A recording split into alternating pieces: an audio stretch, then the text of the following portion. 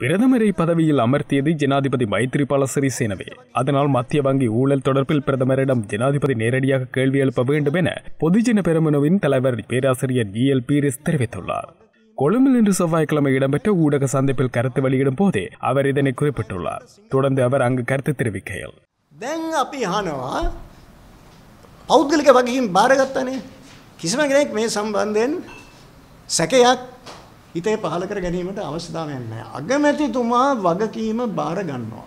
දැන් අග අගමැතිතුමා பிரதமர் ரணில் விக்ரமசிங்க வகுத்த நேர்த்தியான திட்டத்தின் மூலமே மத்திய வங்கியில் பாரிய ஊழல் மோசடி இடம்பெற்றுள்ளது. அர்ஜுன் மகேந்திரம் மத்திய வங்கி ஊழலுடன் தொடர்புபட்டது மட்டுமல்லாமல் நாட்டின் இரகசியங்களை அம்பலப்படுத்தியது உட்பட பல்வேறு குற்றச்சாட்டுகளுடன் தொடர்புபட்டவர். எனினும் தற்போது அவர் சிங்கப்பூரில் சொகுசு வாழ்க்கையினை அனுபவித்து வருகிறார். அங்கிருந்து அவரை கொண்டு வரும் அதிகாரங்கள் இதுவரையில் இல்லை. இந்த மத்திய வங்கி ஊழலுடன் பிரதமர் நேரடியாக தொடர்புபட்டுள்ளார் என்பது தற்போது வெளிப்படையாகிவிட்டது.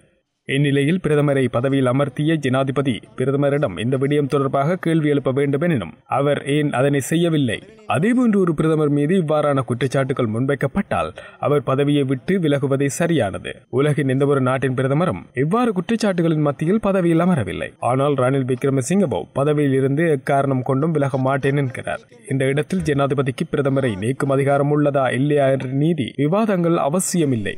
அதற்கு முன்னர் பிரதமர் தானாகவே பதவியை துறந்து விடுவதே பொருத்தமானதாகும் எனவும் பீரிஸ் மேலும் தெரிவித்துள்ளார் සම්බන්ධයෙන් අ, ජනාධිපතුමා හා අගමැතුමා මොකක්ද ගන්න පියවර.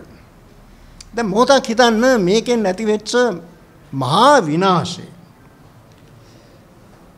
ජාත්‍යන්තරය ශ්‍රී ලංකාව අද සලකන්නේ මුදල් විශුද්ධි කිරීම සම්බන්ධයෙන් ඉතාමත් උග්‍ර වැරදි කරන 让他停。